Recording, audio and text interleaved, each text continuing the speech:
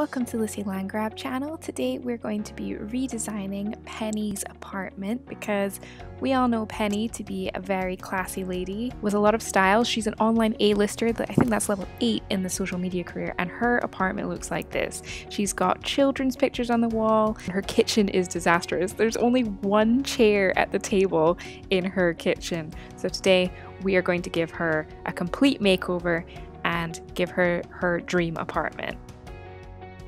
So there were a few things I wanted to achieve with this renovation, including making it a really bright space because I feel like she is someone who's really into different colors and also with her being in social media I feel like she would have made her money slowly and would have collected a lot of eclectic furniture that didn't quite match so I tried to lean into that a little bit. I made her a little social media nook where she would be able to work on her computer with an extra monitor and then I designed the background of it to um, look a little bit like Lilsimsie's uh, setup with her uh, cubed bookcase behind where she records. This was a really nice space to design because it kind of just made itself like everything just felt like it fit into place.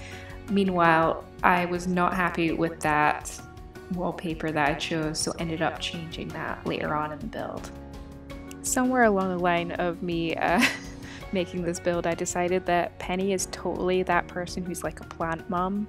Like she's not, she doesn't have a pet, she doesn't have a cat or a dog, she has just an obscene amount of plants. Also, while we're looking at this hallway, I just love a lot of the shelving units that we got with Eco Lifestyle. They add so much to a room that I think a lot of the other shelving units we've been given in the past don't, and they also are already so pre-decorated that I don't have to go in and place all the items myself, which is much preferable. I like how that corridor has actually ended up being like a space now rather than just, oh, here's a shoe rack and here's a coat rack.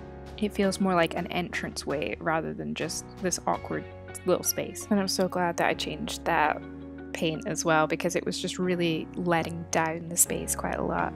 I wish that I'd been able to fit this table in the corner at more of an angle, but I don't think it would actually be usable and I would prefer for it to be usable than just look good. So I left it kind of square on the window there.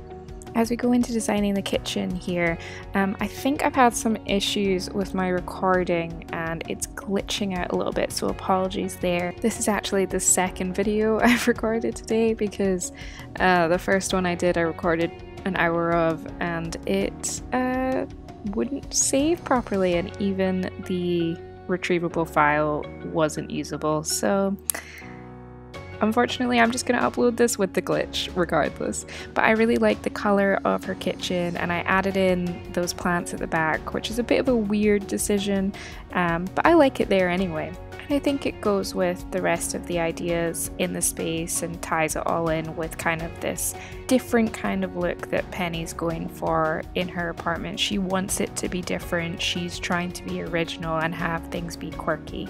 Every time that little corruption type glitch pops up, I'm just really hoping that when I export it, it's not in it. And then you guys won't see it at all, and I just had to put up with it. So here are screenshots. I think we definitely all can agree that there's a remarkable improvement between uh, point A and point B here. Uh, I'm really happy with how it turned out. I definitely think this is more representative of her character and how she would want to design her home. And at the very least now, she has more than one chair at her dining table. Thank you so much for watching. I hope you enjoyed this one. Please subscribe for more Sims content and I hope you have a great day.